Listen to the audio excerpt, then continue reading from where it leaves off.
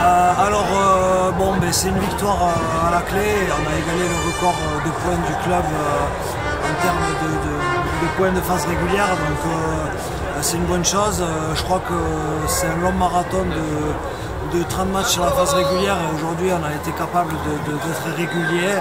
Alors c'est sûr que le contenu ce soir, le, résultat, on avait à cœur de faire un gros match pour ce dernier match de phase régulière. Maintenant voilà le contrat est atteint, on, atteint les demi-finales euh, euh, directement et on sait que voilà maintenant c'est la magie des phases finales et, euh, on se prépare pour ça et, on sera présent pour les, pour les deux. On sait que c'était un match engagé, on était prévenus aussi. donc, donc voilà, maintenant à nous de se servir de ce match-là pour, pour la suite.